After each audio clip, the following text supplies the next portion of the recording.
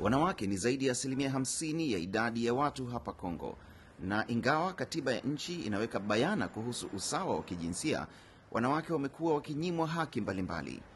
Na katika uchaguzi kama huu, wengi wanaamini kuwa njia bora ya kuonyesha uwezo wao ni kujihusisha kikamilifu.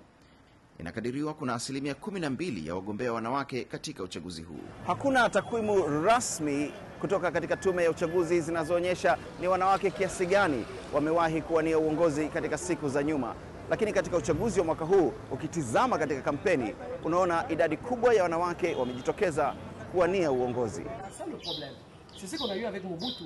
Huyu ni Marie Jose Ifoku, anawania urais.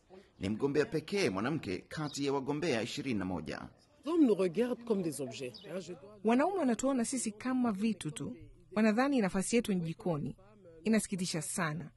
Mimi nimepitia mengi nikiwa kazini, lakini mara zote huwa nasimama imara kabisa bila kujali matokeo ya uchaguzi. Nina hakika mtazamo dhidi ya wanawake umebadilika. Utafiti uliofanywa hivi karibuni umeonyesha Kongo ni miongoni mwa nchi kumi mbaya zaidi kuishi kama mwanamke. Ubaguzi na unyanyasaji wa kijinsia ni miongoni mwa matatizo wanayokumbana nayo kila siku. Uwakilishi wa wanawake bungeni ni asilimia nane tu. Donc shi banamke jo tukubebe conscience ya kusema ke tutaweza, tutaweza. Deja tunaona vile mwanamke Mungu anamupa charge ya kuzala, ya kueduke, posibilite mwanamke konao mbele ya kuchunga nyumbaki mpaka politiki jo, jo itatukuya nguvu ifo tuingie na nguvu tuoneshe sema tuko capable na shi ya kutumika sawa wanaume. Et puis après batatupa meriti yetu. Aina pake hivi tunachunga facilite mimi shikalake pour parité. Mimi nikalaka pour meritocratie ya kusema we mwanamke njo bakupe fashi ya mwanaume fo uonesha simake uko sawa yeye. Basi hatuna different. Ingawa wanawake hupata baadhi ya haki za msingi, nafasi yao katika jamii bado ina vikwazo. Hata hivyo, kizazi kipya kinahisi mambo yameanza kubadilika.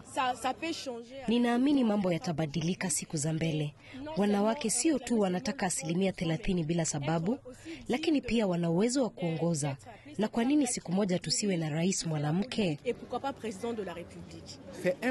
Huu ni ulimwengu wa mashindano na una kasi sana. Wanawake hawawezi hilo.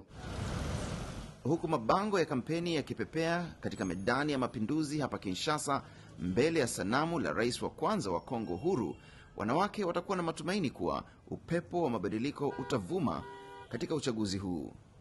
Salim Kikeke, BBC Kinshasa.